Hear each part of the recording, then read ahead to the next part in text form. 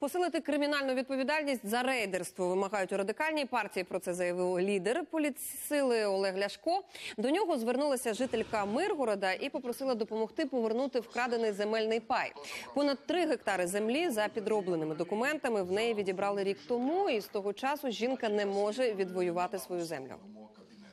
Ми зареєстрували проект закону, щоб е, за рейдерство, за захоплення земель жорстка кримінальна відповідальність. Тому що після введення ринку земель, що хоче влада, от таких історій, як із Оленою Струцькою, сиротою із Миргорода, таких історій буде мільйон по Україні. Коли по безпреділу корумповані суди будуть штампувати рішення, підробляти, забирати майно, забирати землю, а люди потім нікуди не підуть, бо грошей ні на адвокатів, ні на судів немає.